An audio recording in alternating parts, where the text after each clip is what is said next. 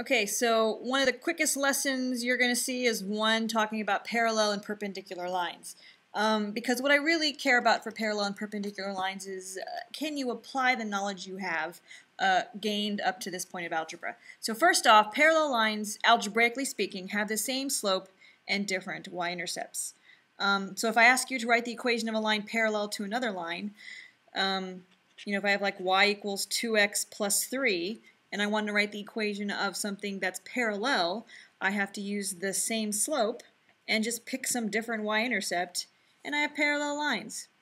And that's pretty much it for parallel lines, uh, because, um, I mean, there's not much else to it. It's just uh, same slope, different y-intercept.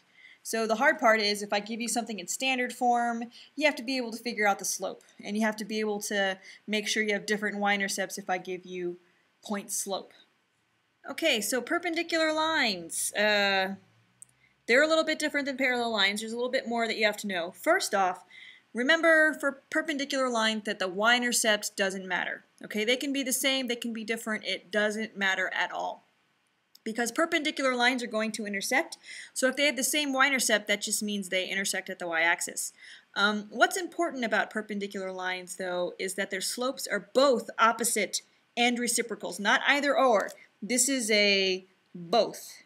You have to have the opposite sign to make sure they go in opposite directions, and you need them to be reciprocals to square them off. The thing you need to remember about the slope of perpendicular lines is that their product is negative 1, and the only way to get that is if they are both opposites and reciprocals. For example, y equals 2x plus 3. If I want to write the equation of a line perpendicular to y equals 2x plus 3, remember the y-intercepts don't matter. All I care about is that slope. It's got to be the opposite, which is negative in this case, and the reciprocal, which in this case is a half.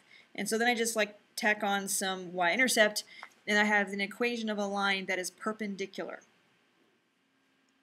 Alright, as I said, this lesson on parallel and perpendicular lines is super short. We've already come to the point where I want to check for understanding.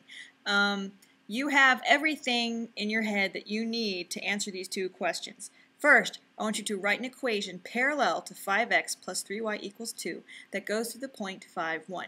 Second, I want you to write an equation perpendicular to 5x plus 3y equals 2 that goes to the point 1, 5.